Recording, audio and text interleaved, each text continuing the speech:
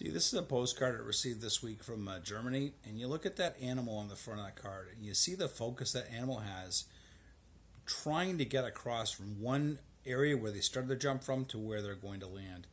Now, if that animal is distracted by any means, they're going to miss their target of where they want to get to in life. Moreover, the same time, with that focus and the desire, also creates a situation of vulnerability. This animal is not protected in this particular state, and that's okay that's the circle of life. But this animal has a focus and direction, and we too have a focus and direction, and we need to make sure that we are not distracted from the things that matter to us most, and to make sure that while we're focused on our goals, while we're on our journey through life, that we're not distracted from getting from A to B by some other kind of things going on.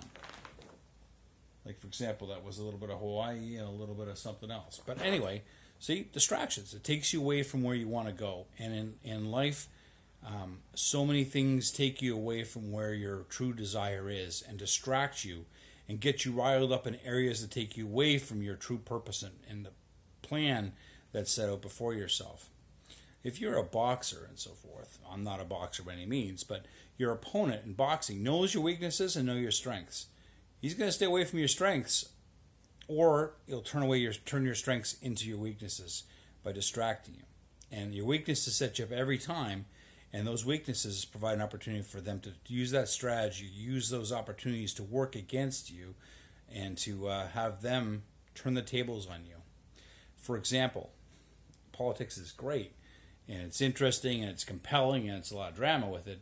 But sometimes, if you watch too much of that stuff, it can suck you into a vortex where that's all you're focusing on, and you're not focusing on what you can do to make the world a better place.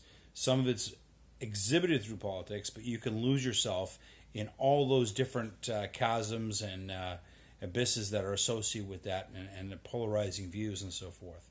So that's a social thing that one may do on a regular basis, but can find yourself becoming too worked up, too upset about it, and, and so on, and distracting from your your energy from where you really need to be putting it towards. As well, you can not care about those things and so forth, and also, uh, you know, and find yourself caught in a problem where you are uh, out of touch with uh, things that way.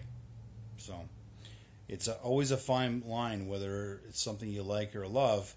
Um, can sometimes um, draw your attention away, or through your activities, to draw you away from where your focus should be on.